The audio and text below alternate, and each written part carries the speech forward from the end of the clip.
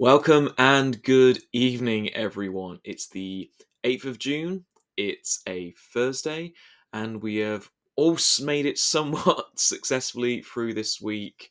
Welcome to the Nottingham Derby District Prayers for this evening. I'm Tim Annan Hood, I'm the PA to the Chair Designate, and it's time for digital prayers. I invite you all to join with us for a few short minutes as we reflect and pray on not only the week that's just gone uh, but wherever's on our hearts and minds, be that you joining us now live or you're watching this at a later date, you are most welcome here. So, wherever you are, be you on a sun lounger enjoying this lush weather we have today, or staying inside the shade because you burn to a crisp when you're out in the sunlight, where you have a cup of tea, coffee, something stronger, whether you're watching right now or re-watching later, you are most welcome here. So let us center ourselves in this moment.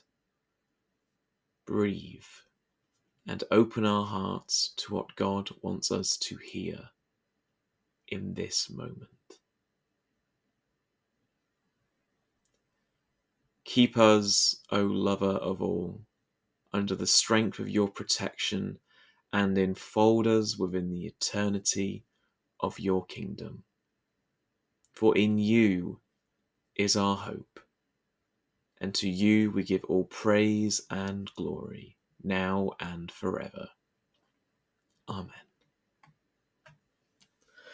I don't know about you, but my to do list seems to be a bottomless pit from whence no man shall return.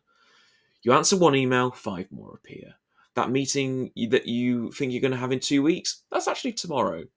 The time you put to one side to read the latest Victoria Hislop novel, yeah, that time came and went, so take that book and place it back on the ever growing pile of to be read. The same can be said of weekly life within our church communities. No sooner have we finished the slog that is Christmas services, are we then on to planning Easter? Sometimes it feels like we are always in a church council meeting, or that there's going to be a church council meeting next week, which is probably a reminder to check your calendars to see if there is a church council meeting next week. And don't forget that the repairs that were done to the car park, because they're going to have to be done again straight away next week, yesterday. There is a seemingly never enough hours to do everything that we want to do.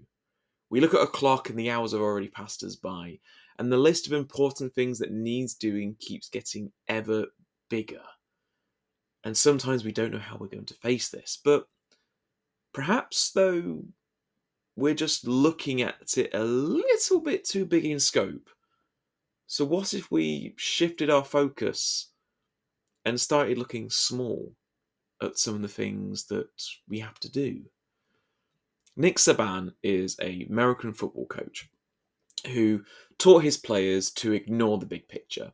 Forget about winning the championship, winning games, how many you need points you need to win, how big of a lead the opposite team has, the odds they're against you. Just focus on the next six seconds. Why six seconds? Because that's the length of time the average American football play lasts. So you focus on those next six seconds, take a rest, then do it again.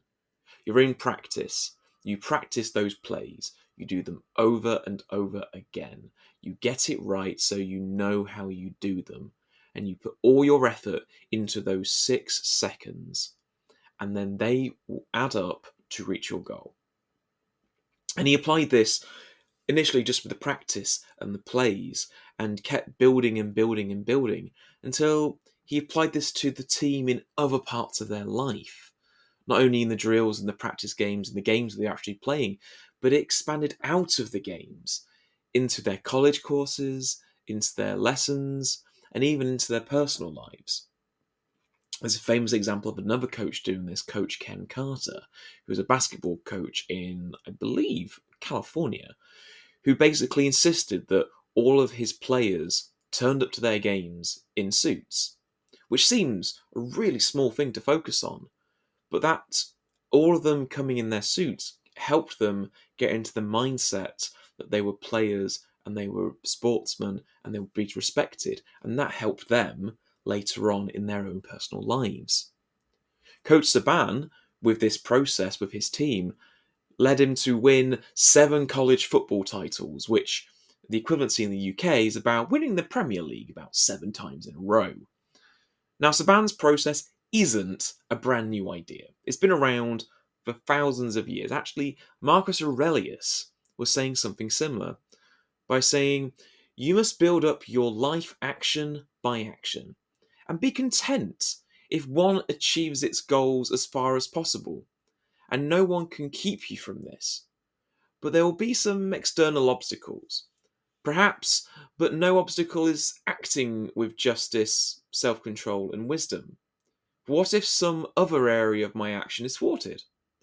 Well, gladly accept the obstacle for what it is and shift your attention to what is given. And another action will immediately take its place, one that fits better to the life you are building.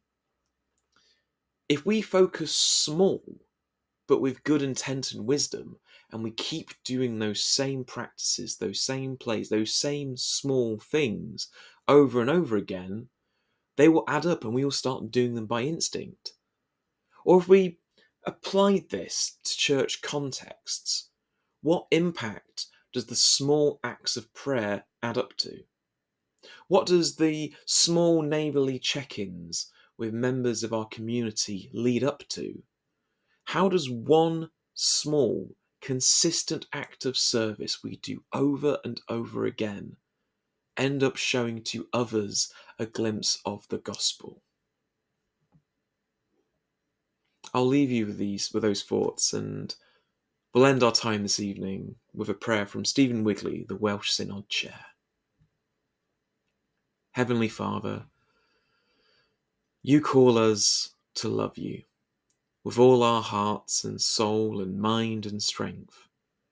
So when our hearts are troubled and souls weary, when our minds are confused and our strength seems gone, surround us with your all sufficient grace and remind us once again how your power is made perfect in weakness, in the one who came to walk with us, in Jesus your Son.